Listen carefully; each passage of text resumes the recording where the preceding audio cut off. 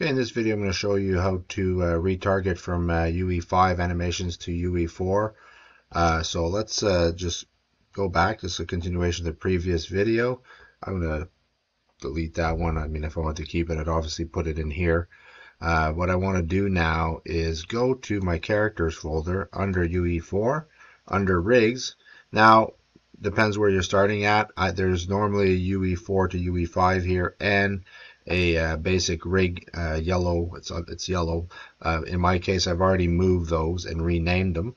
And uh, you can duplicate them if you use them for secondary character. I'm not going to do that in this video. But in this one, what I'm going to do, and I'm going to keep it here, uh, and I'm going to rename this. Um, so this is going to be my exo. I'm going to just go exo character. And I'll just remove the word Manny not to confuse me with if I did want to use Manny or whatever.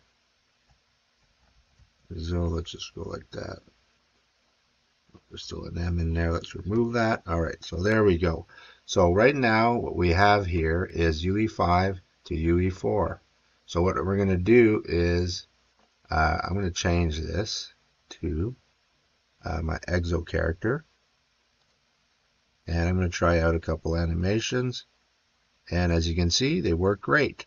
So what I want to do now is click save and keep this for um, any uh, animations that I want to go get and retarget. So what I'm going to do is go to the content section. I'm going to go under characters. I'm going to go to mannequin because mannequin is UE5 okay? Which is sometimes confusing and I'm using Manny and let's pretend I wanted this animation. Mm, that's pretty boring. Let's see. Let's see. Land. Well, let's go with this one. Okay. So, um, so running. I'm going to go here. So we got the run forward. I'm going to right click, retarget the animation asset, just like I did in the previous video, except this time I'm going to use retarget exo from 5 to 4. So, and I'm going to just take two seconds here. I'm going to go here, keep this clean. I'm going to go to my exo character.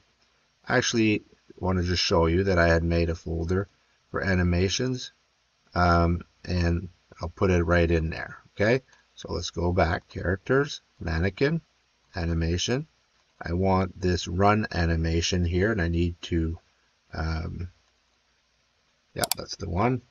So I'm going to go here. I'm going to right click, retarget the animation, duplicate animation asset, go and get this one and change this to the correct folder right here. Click retarget and let's have a look. Looks great. So now I have UE4 animations and UE5 animations that are in my project. The next step is basically um, going to your sequencer and using them as you see fit. So let's do that really quickly. Um, so I'm not doing a whole tutorial on sequencer. You should have watched this previously if you haven't already done it. Um, I press F2. I'll just call this 2222. Just keep it simple. And right now I'm going to go get my exo rig skeleton. There's several ways to do this, but I'm going to do it this way right now.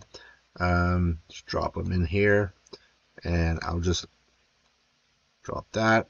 I'm going to go get one of the many animations. Maybe I got this run animation and this one's not moving uh, and you know I won't get into that right here so maybe that's what I want to do and I can on the transform track click uh, a keyframe here for location and I'm going to go at the end here and I'll just click another keyframe here and so we got this.